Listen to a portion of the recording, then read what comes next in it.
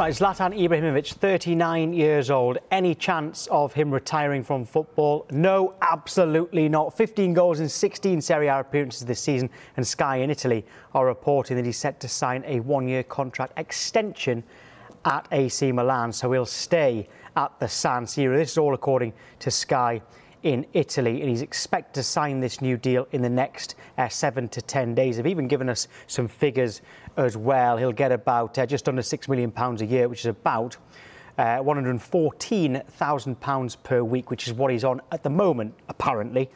Um, so really good goal scoring form in Serie A, 15 goals in 16 games. He's also decided to come out of international retirement as well. So no way in the world is he uh, thinking about finishing and he will stay at the top level with AC Milan for another season and that will be announced uh, very soon. There are also some big news. Well, if um, if, if, your club in the Premier League is wanting a goalkeeper, you might be thinking about Gianluigi Donnarumma, whose contract at AC Milan is up in this summer. Well, uh, the Italy goalkeeper is also in negotiations about extending his contract as well. However, they have stalled over the attacking midfielder, very skillful, great free kick taker Hakan Çalhanoğlu. Those negotiations have stalled. So for AC Milan, good news on Ibrahimovic, potentially good news on Donnarumma, bad news on Hakan Çalhanoğlu.